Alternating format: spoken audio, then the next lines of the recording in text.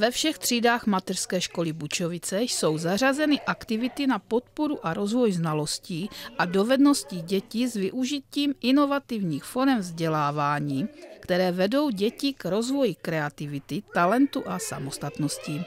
Jedná se dle slov Silvy Sikmundové, ředitelky mateřských škol, o projektovou výuku a zážitkovou pedagogiku financovanou z operačního programu Jan Ámos Komenský. Na základě výsledků dotazníků pro rodiče mateřských škol v Bučovicích reagovali na podněty a zájem rodičů o seznámení dětí s anglickým jazykem. Oslovili zdejší jazykové centrum a navázali spolupráci. Propojili požadavky učitelek mateřských škol a vedení výuky anglického jazyka lektory. Prioritou bylo, aby seznámení s angličtinou bylo pro děti zábavné.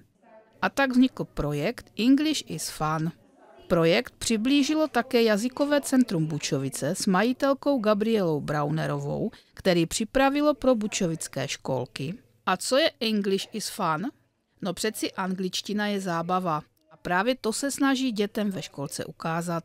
Díky přátelskému přístupu, zajímavým aktivitám a anglickému prostředí si děti vybudují již od útlého věku pozitivní vztah k angličtině a právě díky tomu se jim může otevřít brána do světa plného možností a nových přátelství.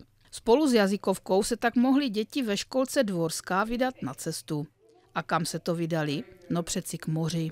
Děti si samozřejmě nejvíce užili hru na žraloka, lektorky byly nadšené z jejich pohotových odpovědí a paní učitelky si oddechly, že se žralokem nikdo neodplaval.